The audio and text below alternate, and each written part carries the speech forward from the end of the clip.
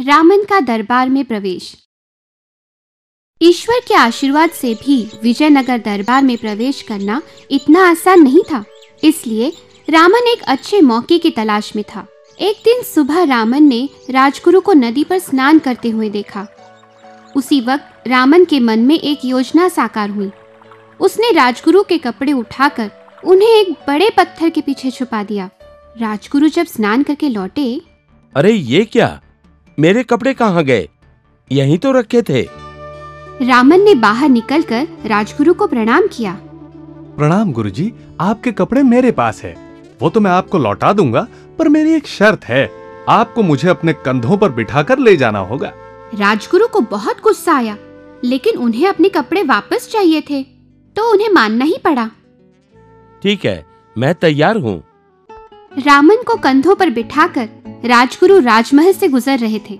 राजा ने उन्हें देखा तो उसे बहुत गुस्सा आया। उसने अपने सैनिकों को बुलाया। सैनिकों देखो कोई राजगुरु के कंधों पर सवार होकर जा रहा है।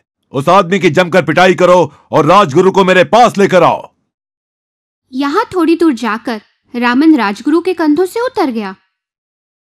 मुझे क्षमा कीजिए गुरुजी गलती हो गई पर मैं उसे सुधारना चाहता हूँ। चलिए अब मैं आपको अपने कंधों पर बिठाकर आपके घर ले चलता हूँ।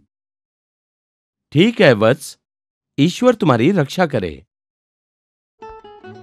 रामन राजगुरु को अपने कंधों पर उठाकर चलने लगा। सैनिकों ने जब उन्हें देखा तो उन्होंने राजगुरु को ज़बरदस्ती नीचे उतारा। तुम्हारी हिम्मत कैसे हुई हमारे राजगुरु के कंधों पर बैठने की? गुरुजी महाराज ने आपको राजमहल बुलाया है। अरे वाह! मैं तो इसी मौके की प्रतीक्षा कर रहा था। हम्म, इस प्रकार दरबार में दाखिल होने की रामन की योजना सफल हो गई।